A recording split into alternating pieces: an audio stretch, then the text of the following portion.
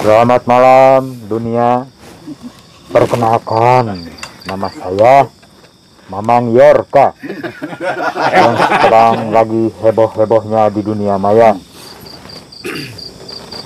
Nah, saya datang ke sini muncul Iya muncul malah datang. untuk menyapa sobat-sobat di sini. Selama ini saya sudah bobol itu data-data negara dan saya retas-retas. Negara mana wae, Bang? Kalau Andin dibobol gak Andin? Kalau itu sudah itu sudah lepet itu. Coba cari yang lagi behnol-behnolnya. Hmm. Jadi saya tidak kagok untuk membobolnya. Nah, jadi saya itu bisa dibilang eh, di negara ini yang lagi semerawut. Hmm. Setiap permasalahan nggak ada tuntas-tuntasnya. Masalahnya terbelit-belit, kadang muter balik sampai Mang Yor pokoknya mah, Rika, Mang Yor ka liur. Jadi Mang Yorka turun tangan gitu ya teh? Akhirnya saya turun Waduh. tangan karena eh, rakyat negara antabarantara ini Hmm. sudah harus tahu mereka bukan bodoh tapi dibodohi terus. Aduh. Gemes orang. Gemes. Mang Yorka kok Iya. turun tangan tangannya di situ. karena Mang Yor ka tiris. Kalau Hanet pasti tidak begini. Sampai mengwid-wid. Meng, meng. Hmm. Nah, Jadi apa-apa? Anda tanya apa? ya sambil tanya jawab ya Mang Yorka ya. Ya, silakan. Aduh, soalnya Saya sudah bobo bahkan ada ada memburu. pejabat yang ganti nomor juga itu takut sama saya. Mang Yorka tuh Iya, menunggu kehadiran Anda tuh susah gitu. sengaja saya Ini masyarakat susah-susahin. tuh gitu. Kebetulan sekarang Anda hadir di sini. Iya, Itu jadi sekalian tanya-tanya ini eh, warga negara gitu. silakan. Yang penting jangan tanya data nomor eh, perselingkuhan Anda. Waduh. Saya tidak mau. Karena itu privasi. Jadi selama ini Anda tuh ngadodoho aja gitu. Iya, Menunggu momen yang tepat begitu. saya ini dikukut sa- sama salah satu seorang yang Hmm. sudah tidak baca balik lagi ke negara Yang antara-antara tua ini. gitu. Betul. Hmm. Saya kadang-kadang ada di Polandia, Hmm. di Rusia. Nah, saya sekarang lagi nyimpang ke sini, saya belajar dulu bahasa Oh dikukut sama yang tua itu gitu. Betul, betul. Eh, anda sayang sama yang tua itu. Sangat sayang karena sudah Andin saya- ya. Hei. Jangan nyar-nyar diomongin. Aduh. Bapak, coba eh, saya hacker Pak, hacker. Oh hacker. Hacker yang susah dicari. Saya kebetulan ke sini pas pulang meronda, saya dingin dan saya mencari kopi. Tapi ini kita tuh pengen tahu, memang spesialis anda dalam dunia hacking itu, dunia hacker itu apa apa saja itu?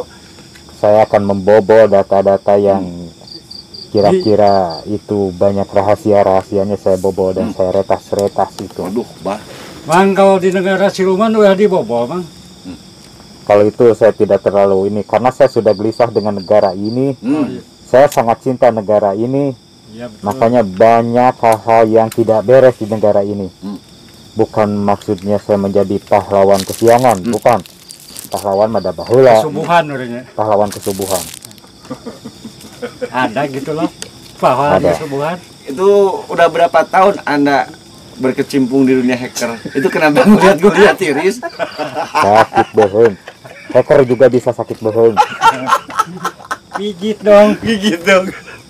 Kalau ke message ini takut kebuka topeng. Hmm. Jangan. Jangan jangan dibuka Berbahaya. tuh. Bukan lagi hacker kalau dibuka mah. Kalau dibuka mah bukan hacker. Udah berapa tahun itu? Saya semenjak itu saya melihat bapak angkat saya Hmm. eh, kasihan dia. Berapa tahun? Bukan kronologisnya berapa tahun? Ya, nanti saya ceritain dulu asal muasalnya dulu Iya, ya. iya, Iya, betul iya, bagus. Jadi bapak jangan asal tahu di tengah-tengah, tapi harus tahu dulu siapa Oh saya. iya, gitu. Kalau dihitung tahun, eh, saya sudah lama semenjak Oh, korek ceritakan bapak angkat. Iya karena tahun. Eh tadi ke bapak angkat. kebajakan Batman. Nah, Pak Baliut. Baliut tiris, Eh, Pak. Hacker saja Pak Baliut. ya. betul karena hacker kedinginan itu dampaknya kedinginan. bahkan saya sudah menghacker itu data tetangga itu Tangga sebelah. iya yang Dahenol Nerkom itu ada yang minta juga itu tolong waktu, dibuka waktu katanya di hacker sama anak apa yang terlihat itu tetangga oh pas dilihat saya lihat celana dalamnya karena itu bekas karung terigu sana ditutup Sampai- sama di bentesnya Sampai eh, hacker, eh, hacker, hacker eh, bebas, Pak. Tuh. iya. sampai sejauh itu penglihatan Mbak. Ya, itu tergantung pertanyaan netizen saya balas saja Hmm. eh, kayak netizen yang menanyakan nomor telepon si A si B saya Iya. buka Hmm. oh, buka. Saya Ya buka. bagus. bahkan Kalau nomor sepatunya udah kelihatan enggak? datanya semua saya ada komplit nomor sepatu bukan dari nomor sepa- sepatu identitas dia ngagadekin atau ikut kayak nasabah. Nasabah nasabah itu nanti saya bongkar juga dok. itu janji nasabah. Hmm. itu akan saya bongkar juga semuanya. Itu di sini di negara itu ada ini hacker ada yang suka ngebantal itu. Pernah di hacker nggak sama anda itu. Udah kelacak gitu. Yang suka ngebantah udah dilacak. iya kehilangan bantal. iya soalnya di sini kehilangan bantal ini. Kemarin saya saya sudah hacker juga dia kalau pengen tahu waduh. dia waktu itu menjadi ambasador dari Podomoro. Hmm, hmm. dia membawa bantal di sana dan dia berdiri di sana. Itu salah satunya saya buka itu. Itu. Soalnya ini banyak yang aduh kehilangan bantal di sini. Iya, kadang dia ada di restopan atau ngegerusuk ke sekolahan-sekolahan. Iya. Dia Salah satu membobol. penjahat negara juga tuh Sebetulnya sama saya. Oh, dia hackernya ke sekolahan, oh, oh. membobol dan dia mau mengambil data bukan data tapi salah. Padahal saya suruh ambil data, malah dia ambil buku-buku perpustakaan. Apa dia mau bukaan bu- mau buka taman bacaan saya tidak tahu. Dia salah. Hmm. Pada itu hacker yang sudah saya latih juga itu. Jadi, Oh, itu hacker. murid. Karena oh itu murid tadinya mau saya eh, jadikan murid untuk cuma salah comot wae banyak Itu salah comot. kena bantal itu mereka doang kayaknya Pak hacker itu saya murid. coba itu untuk eh, masuk ke sekolah mencari data-data siswa atau Hmm. siapa kepala sekolah katanya dia bawa mau buku Hmm. dan dia pun itu memang disuruh anda itu iya itu Betul. anda menghacker itu siswa-siswa SD untuk apa itu? Karena eh, saya mau lihat di sini siapa yang mendapat bantuan sosial Lodoh. siapa yang tidak. Itu karena banyak permainan juga kadang-kadang betul betul. bantuan sosial itu pun Dipakai Dipotong. kelereng ya. dipotong kayak gitu saya tidak suka itu. Lodoh. tidak suka dengan permainan itu. Harusnya anak bangsa negeri ini harus lebih pintar dan cerdas. Hmm. bukan pintar untuk dibodohi. Hmm. Haus Ini masih lama enggak? Eh, dan nanti akan saya buka juga itu yang sedang perdukunan-perdukunan aduh Lodoh. itu bikin ribuh di media sosial mau mau juga di itu hacker juga sama Pak anda Firdaus itu itu.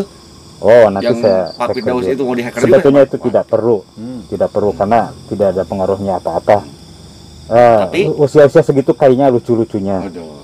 kayak anda gitu lagi lucu-lucunya saya lagi pika sebelumnya ini. Banyak banyak pika sebelumnya. Lagi Ya, maunya itu Bang Jorga. ya karena eh, saya dari dulu sebetulnya sudah simpan semua data ini. Karena saya melihat di negara anta barantah ini semakin publik makanya saya buka bukan saya maksudnya ini tapi saya buka dan bobol data-datanya itu. Di sini bahwa eh, untuk melindungi data pun masih bisa saya bobol berarti belum belum HD itu